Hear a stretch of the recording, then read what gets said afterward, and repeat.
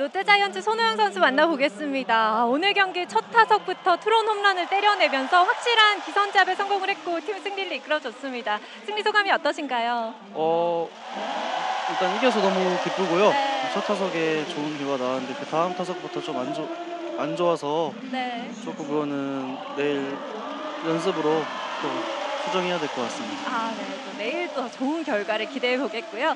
사실 그 첫 타석 홈런이 시즌 12호 포였잖아요. 스스로도 굉장히 짜릿한 느낌이 있었을 것 같은데 타석에서는 어땠습니까?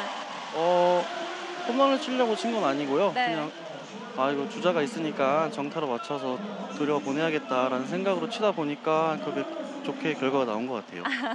네, 겸손하게 답변을 해주셨는데 사실 타격도 타격이지만 오늘 그 김혜성 선수의 타구를 처리했던 게 굉장히 인상 깊었거든요. 사실 워낙 빠른 타자다 보니까 부담이 됐을 것 같은데 당시의 상황이 어땠습니까? 어 일단 나, 공이 네. 라이트로 들어가서 잘 안 보였는데 일단 타자가 혜성이니까 좀 더 빨리 처리하겠다는 마음으로 처리했는데 네.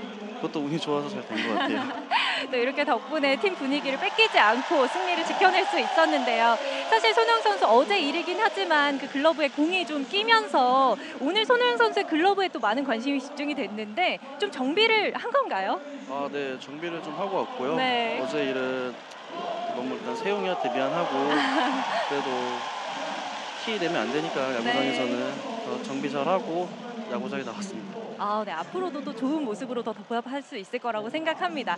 사실 트레이드 첫 시즌에 이렇게 팀의 중심이 되는 선수로 거듭나기가 쉬운 일은 아니잖아요.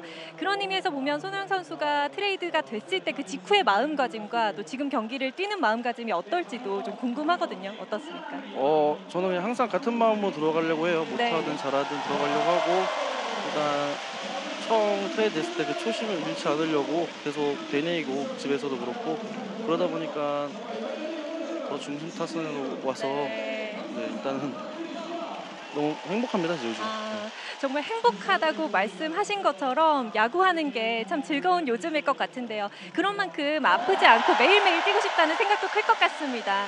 지금 몸 컨디션은 어떻습니까? 네 컨디션 좋고요. 아픈 데도 없고 남은 경기 다 나가고 싶은 생각밖에 없어요. 어, 네. 팬들도 꼭 그렇게 해주길 바랄 것 같은데요.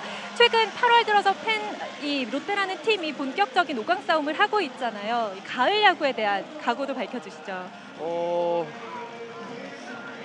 꼭 가도록 선수단 다 같이 열심히 하고 있으니까 더 지켜봐 주시면 감사하겠습니다. 네, 손흥민 선수 앞으로도 멋진 활약 응원하겠습니다. 네, 감사합니다. 네, 롯데자이언츠 손호영 선수 만나봤습니다.